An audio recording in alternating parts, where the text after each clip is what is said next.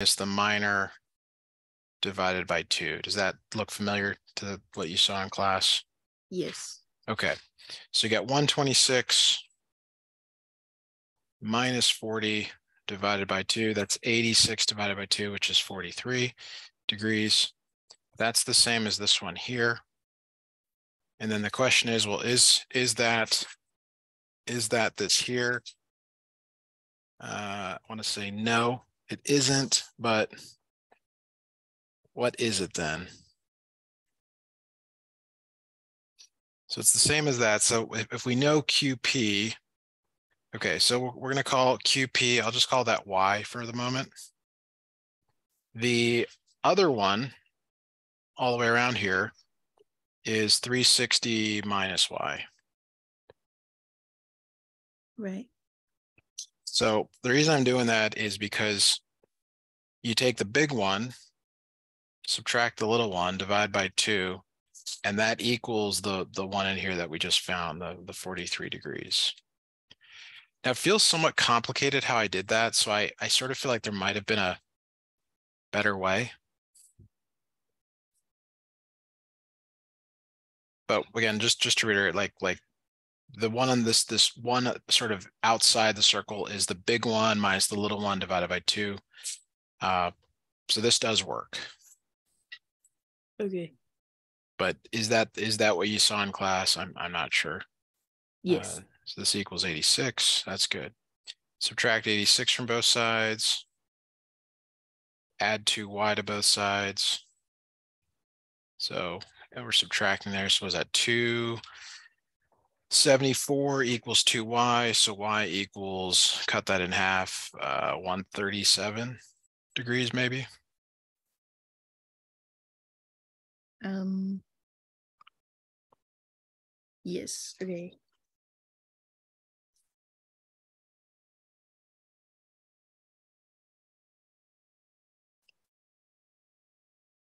All right. Um,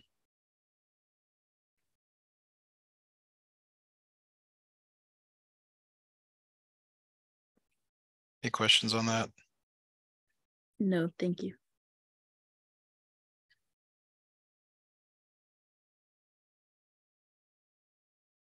All right, so next question here.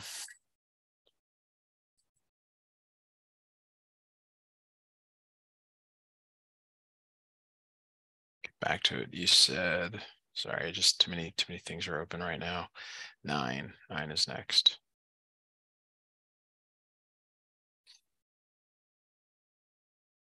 Okay, this is really similar. This one I think is actually somewhat easier than the one we just did. Because it's only the one circle. Right. So uh, figure find the measure of angle P. So that what I was trying to get at here is is whenever you have a a two tangents, or it could be a tangent and a, and a secant, or it could be a secant and a secant. There's always kind of a major and a minor. Um, not necessarily the same as like major and minor arc, but sometimes it is. Uh, but the relationship is always that x equals big M minus little m divided by two. So in your problem, they give you they give you a to b as a expression equation there. They give you this with x in it. So to find the other one, this one out here, it's 360 minus 15x plus 33. Right. Okay, so uh, a couple of ways to to do this, but it's just like the last one. You're going to take this this big one, the 360 minus 15x minus 33, and then you're going to subtract the 15x plus 33, divide it by 2, and that's going to equal 6x. So this is just a really messy algebra equation. Um, the numerator, you distribute that negative to both. It ends up being 360 minus 15x minus 33 minus 15x minus 33 divided by 2 equals 6x. Like that. I'll move this equation over. So uh, multiply everything by two so that that becomes twelve X on the right. On the left, you gotta combine like terms. You got three sixty minus thirty-three minus the other thirty-three, so it's minus sixty-six. This looks like two ninety-four minus thirty X equals twelve X. Add thirty X to both sides.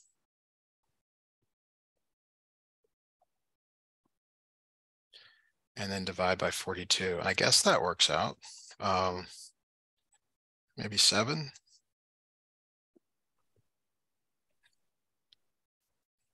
So like most problems, that's, that's not the answer. That's just the intermediate. Like most problems, that's just the intermediate answer. So that's seven. You have to then put that back in to six X to find the measure of angle P. Measure of angle P is six X or six times seven, which is forty-two degrees. Okay. What, uh, what about this is, uh, maybe complicated or unclear or, you know, give me some feedback, I guess. Um. Um, I thought that was good. Um, I think um setting up the or remembering the um big angle minus the small one and then dividing it by two, I think that part was like setting it up was hard. Yeah, it, it's, uh, they, they always give you enough information. It's just that there's always something to do to get that, you know, missing information. Well, a lot of times in your book, you'll have to multiply by three sixty or take three sixty and subtract the, the other side there.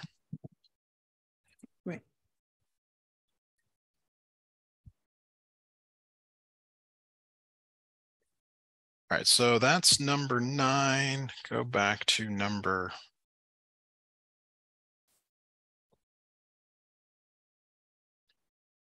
Eleven.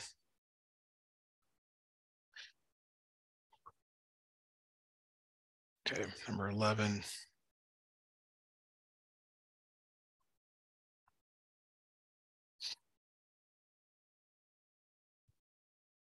All right, here we go.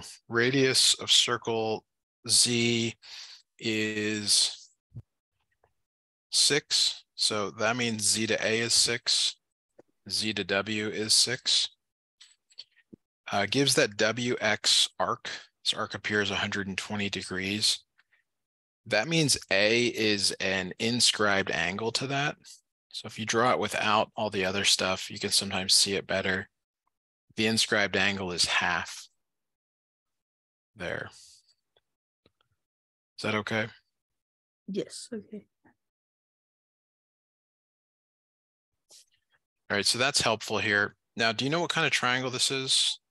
Or do you know what this, maybe this angle measure of X is? It's, a it's,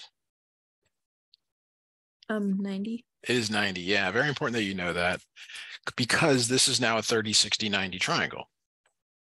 This is 30. So again, sometimes good to just draw it off to the side, even if it's not to scale. Uh, this is 12. This is the 30 degree, 60 degree. So the, the, um, in the 30, 60, 90, the hypotenuse is double the, the short leg. And the short leg is across from the 30. So this is six. Okay. Did we, did we spend some time on that? I, I really, you know, the lessons sometimes blend together where I can't remember if it was you. I think it was, but Yes, we did. okay. And, and the long leg is six root three, because you multiply the short leg by the square root of three. Right.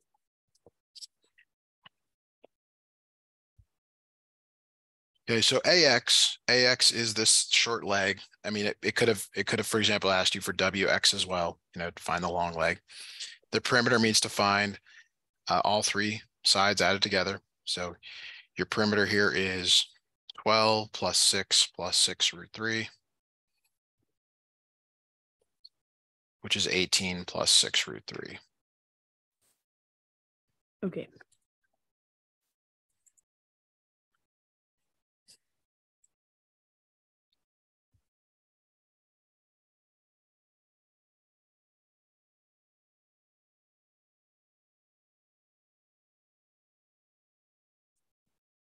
Any questions, thoughts on that or anything?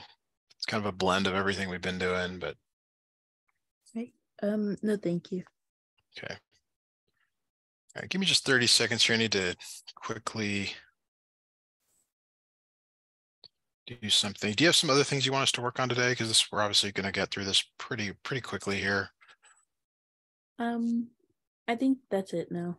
Okay. All right, let me uh jump back to our window here. All right, so number number 12, number 12 here. Do you feel like class has gotten easier? Um, not necessarily because of the tutoring, but just is the content any easier for you?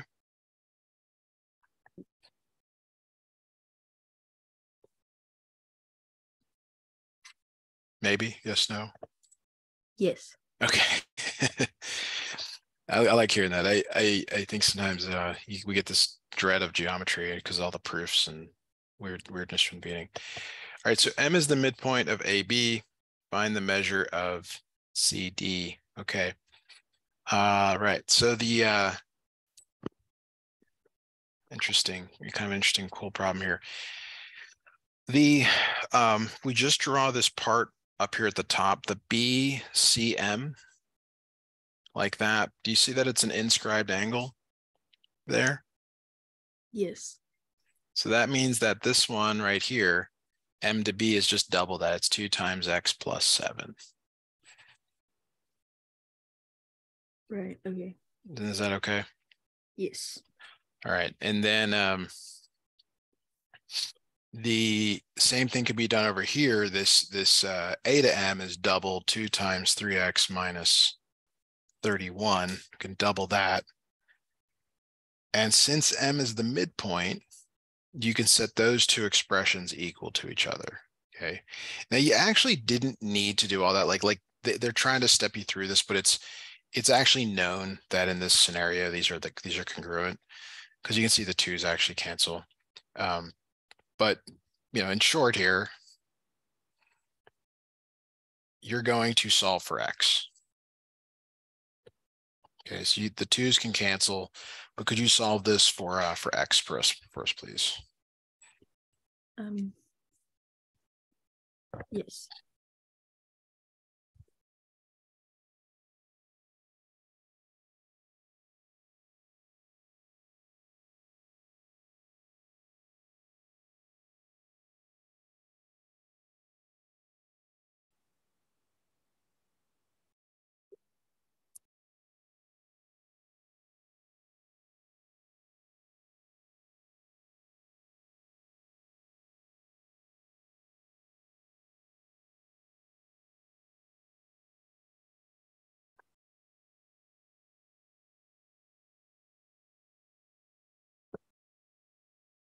Um. Okay. X equals nineteen. Yes. Okay, now the reason we wanted X, I didn't I didn't say this, but the reason we want X is because um, to find CD, you need to know this angle right here, angle M, which is 4x minus 15. That's why you need X. Because again, that's another inscribed angle. And notice I keep drawing these without all the other lines because they're distracting. Right. Yeah. So if you once you find this angle right here, you double it to find the measure of arc uh, CD. So can you do that for us, please? Yes.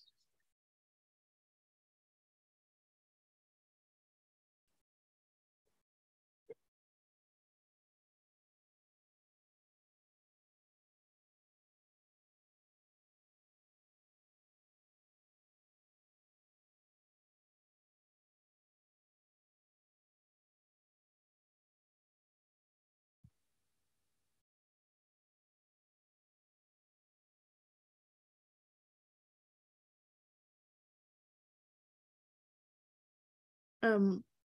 One twenty-two. Yeah, yep, sounds, wait. Um, hmm. I'm gonna use the calculator. uh, yes, 122 is correct for this one. And it is in degrees. I don't know if you've been doing that. The X is just a number, but the arc length is in degrees. That does, that really does matter. Right. Okay.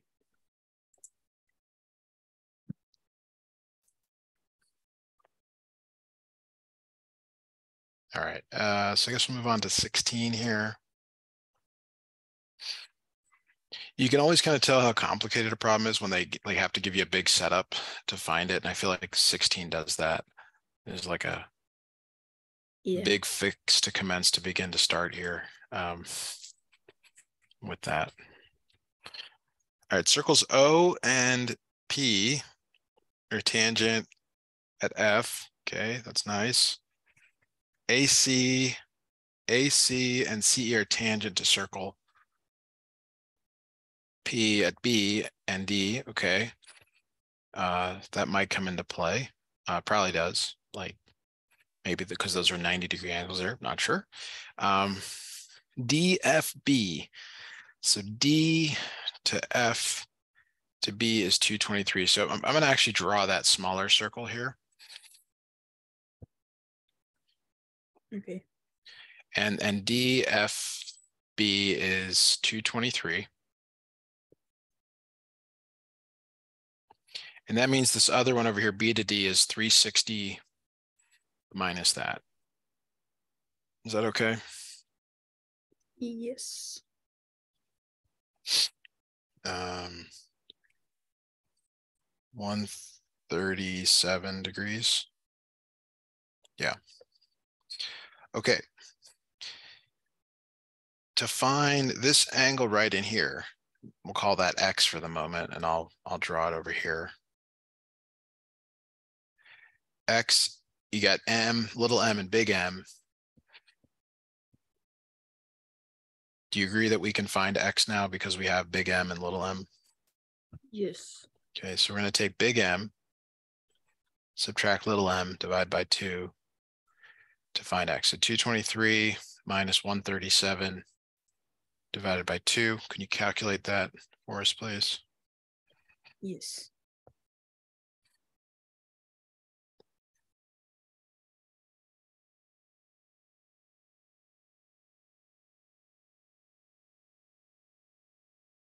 Um, forty-three. 43, good, okay. Now, I, I sort of know where we're going this problem, but, but maybe, maybe you're not quite sure here. I'm always looking to the thing we're trying to find A to E. And it's like, what do I want to know to find A to E? Well, to find A to E, if I knew the inscribed angle, I would be able to find it. And because it's inscribed there, you just double it to find the lesson there. Okay.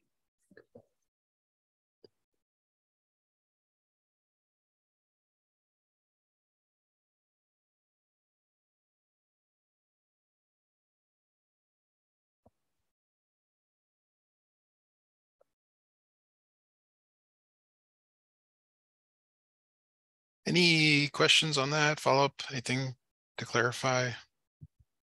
Um, no, thank you. You're very polite. I appreciate that. but really, if it's unclear, please just say, you know what, Matthew, that was awful. That was the worst description ever. Um, I'll cut that out of the YouTube and we'll, we'll go on there. But, but uh, you know, this is this is our time to uh, uh, you know figure out like this stuff here. And um, one thing I will, I kind of alluded to this earlier, is is there's there's the tangent tangent situation but the, the, the everything we've been doing also applies to a secant secant situation. And then it also applies if you've got a tangent and a secant. Everything we've just done uh, applies to that. So uh, all three scenarios you might might see. Right, okay.